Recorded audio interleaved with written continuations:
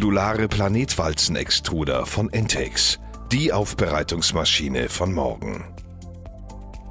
Beim Planetwalzenextruder wird eine temperierbare Zentralspindel angetrieben, auf welcher sich die einzelnen in ihrer Anzahl variierbaren Planetspindeln abwälzen. Die umlaufenden Planetspindeln werden zusätzlich über eine innen verzahnte Buchse geführt, die von einem Walzenmantel umschlossen ist. Zwischen der Buchse und dem Mantel, auch Walzenzylinder genannt, befindet sich die Flüssigtemperierung.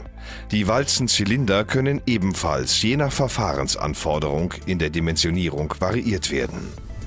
Zwischen jedem Walzenzylinder befindet sich ein Zwischenring, Anlaufring, Dispergierring oder auch verzahnter Zwischenring genannt. Diese Ringe halten die Planetspindeln in ihrer Position in der Buchse und ermöglichen gleichzeitig den Druckaufbau in einem Modul. Ebenso variabel einsetzbar sind unsere verschiedenen Planetspindeltypen bzw. Planetspindelvariationen, wie die TT-Spindeln für Transport und Trocknung, die Igelspindeln für Querdurchmischungen und die Noppenspindeln, zum Beispiel für den Einzug von Granulaten und Fasern, die je nach Prozess und Rezeptur eingesetzt werden können. Sehen wir uns nun den Verfahrensprozess des Planetwalzenextruders genauer an. Durch den direkten Materialeinzug im Planeteneinzugzylinder, kurz PEZ genannt, werden Förderschwankungen ausgeglichen. Das bedeutet, dass das zugeführte Material gleichmäßig aufgenommen und plastifiziert werden kann. Auch bei Teilmengen wird das Material gleichmäßig und nicht intermittierend aufbereitet. Diese Förderkonstanz ist auch für den nachfolgenden Prozess wichtig.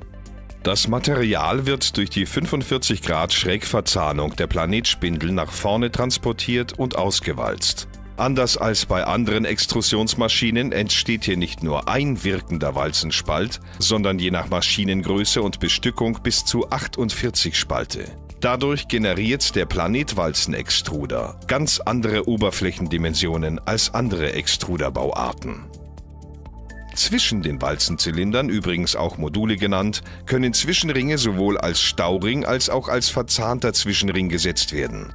Gleichzeitig sind diese Ringe mit Druck- und Temperaturmessung sowie Einspritzmöglichkeiten versehen. Die Temperierung wird sowohl durch die Zentralspindel als auch durch die Walzenzylinder ermöglicht und ist einzigartig in der Aufbereitungstechnologie. Durch die Verzahnung in der Buchse entsteht eine Verrippung, die geringste Wandstärken ermöglicht. Das flüssige Temperiermedium, Öl oder Wasser, wird somit hautnah am Produkt vorbeigeleitet. Das ermöglicht eine einzigartig präzise Temperaturführung und größtmögliche Wärmeübertragung. Über eine Seiteneinspeisung, auch Seitfieder genannt, kann sowohl evakuiert oder Material zugeführt werden. Dabei kann über die Spindelbestückung durch die Anzahl und Form der Spindeln das Volumen im Planetwalzenextruder exakt eingestellt werden. So entsteht Raum zum Beispiel beim Entgasen, indem die Spindelbestückung auf ein Minimum reduziert wird.